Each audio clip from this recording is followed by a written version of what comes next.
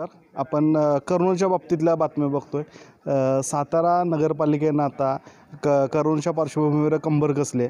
सातारा नगरपालिकेच्या हद्दीत किंवा सातारा नगरपालिकेच्या माध्यमातून बसल्या बसवण्यात येणाऱ्या मंडईत आता आखून देण्यात आलेलं आहे की पाच फुटाचं अंतर ठेवून प्रत्येकाला एक एक बॉक्स आखून दिलेला आहे. तिथं दोन कस दोन ग्राहक येऊन आपली मंडई खरेदी करतील.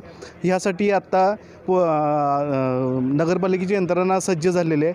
आपल्याबरोबर नगरपालिकेचे उपनगराध्यक्ष आहेत किशोर शिंदे.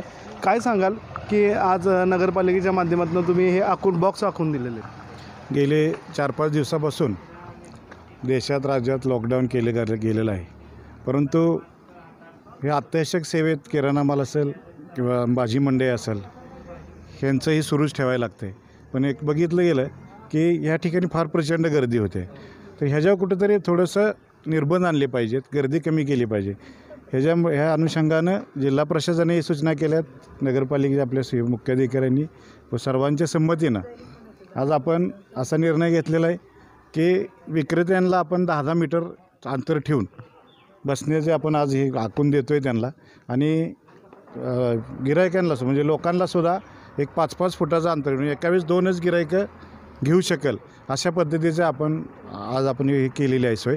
तरी नागरिकांनी त्याचं सहकार्य करावं करावं व गर्दी करू नये. सातारच्या नगरपालिकेतल्या किती मंडईमध्ये अशी सुविधा करण्यात आलेली आहे? आता एकंदरीत असं तर येते लक्षात. पण आता आम्ही विक्रेत्यांनाही आवाहन करतो विनंती करतो की आपणही आत्ताच्या परिस्थितीत अशी भाव वाढवून एक करू नये.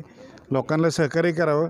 जे काय आहे भावात तेच लगावं भावात आपण घे लोकांना माल विकावा. किती मंडईमध्ये आपल्याला सोयी केलेली आहे? जेवढ्या शहरात मंडी आहेत सदर बाजार आहे पोळी नाका रविवारपेठ महात्मा फुले मंडी राजवाडा मंडी ह्या सगळ्या ठिकाणी आपण अशा सोयी केलेल्या आहेत. आज जी तुम्ही आता सोय केलेली आहे प्रत्येक मंडईमध्ये त्या मंडईत वाढणारा जो कचरा आहे तर तो उचलण्यासाठी तुम्ही प उपाययोजना काय करणार?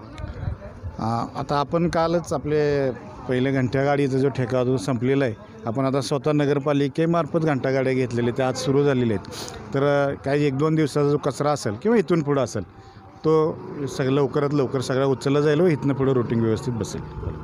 आखून दिलेलं आहे. प्रत्येकाला मंडईतल्या प्रत्येक भाजी विक्रेत्याला आता अशा पद्धतीनं बसावं लागणार आहे आणि दोनच ग्राहकांना तुम्हाला भाजी विकता येणार आहे. बाकीच्यांना तुम्हाला बाजूला थांबावं लागणार आहे. कारण आता किमान किमान आपल्या विक्रेत्यापासून किंवा इतर ग्राहकापासून तीन मीटरचं अंतर तुम्हाला ठेवायचं आहे तर नागरिकांनो किमान नगरपालिकेने केलेली ही जी सूचना आहे किंवा नगरपालिकेनं आखून दिलेले जे बॉक्स आहेत ह्याचं पालन करावं.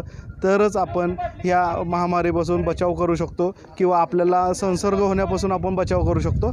आणि नगरपालिकेने जे काय तुम्हाला सूचना करतील त्याचं तंतोतंत पालन करावं.